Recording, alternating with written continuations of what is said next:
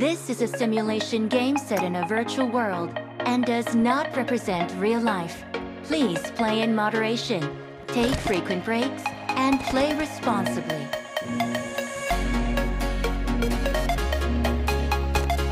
Team match, let's go.